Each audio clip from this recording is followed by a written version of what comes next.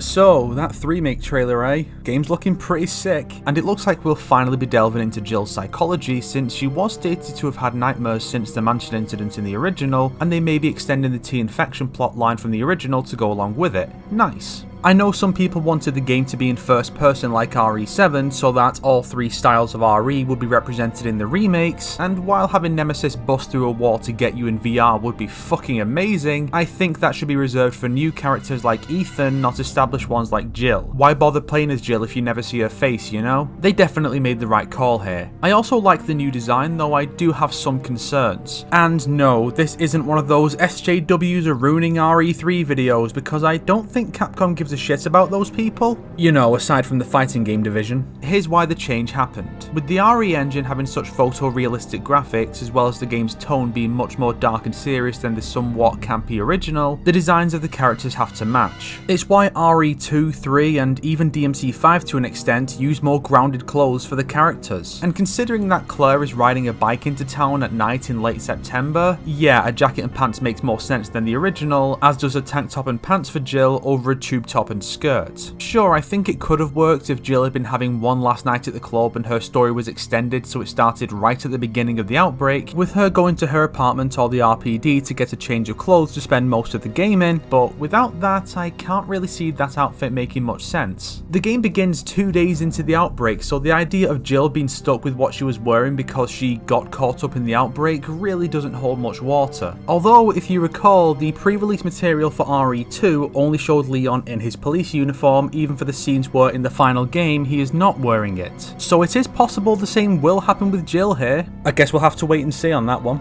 Now with Leon it wasn't an issue because his outfit was already a special police uniform so toning it down to be more like SWAT gear allowed them to remain true to the original while also making it look more realistic. It's not about sexism or censorship, it's about Claire and Jill being in civilian clothes that are unfitting for the situation and time of year. As for what they went with, I feel that the new outfits are a little generic, especially in a world where both exist. Claire's redesign makes her look more like modern Lara Croft, especially Sans' jacket towards the end. And Jill looks quite similar to her too, or perhaps closer to the cast of Uncharted. But then, what else could they have done here? Considering how unfit the old outfits were for the setting, the balancing act of making them more while also remaining true to the designs of the originals cannot have been easy. I really don't see how you could approach Jill's outfit in that way other than making it a tank top and pants. My main concerns are how Jill and Claire's outfits look really unmemorable compared to the originals and how Jill's feels lacking in a certain area. While I feel like the future instances of Leon having a Raccoon City alternate costume may well choose the remake version over the original, I just don't see that happening with Claire or Jill's. Alternate costumes have less of a requirement to look realistic for the situation than the core canon costumes do. As such, I feel like Claire and Jill's outfits are too generic to come back as alternate outside of the absolute most comprehensive unlock galleries. Maybe Claire's would have fit better for a Code Veronica remake than an RE2 one. As for Jill's lacking element, I think it's her cardigan. They seem to have given her a white undershirt under the blue one to represent that, but I think the large section of white is needed to break up the outfit and add some important colour balance, which a small section of visible undershirts does not accomplish. I think something like that would definitely help here. Maybe she could have had a cardigan or hoodie for use in colder areas, during a rainy section, when running through a burning building, etc, and it could get ruined or torn off towards the end. Maybe Carlos could tear it up to wrap Jill's wounds after her infection before he heads to the hospital for supplies. I think something like that would be a good nod to the original that also helps her look more distinct and true to the original, while additionally having a purpose in the story. Fortunately, the classic outfit looks very true to the original, unlike Claire's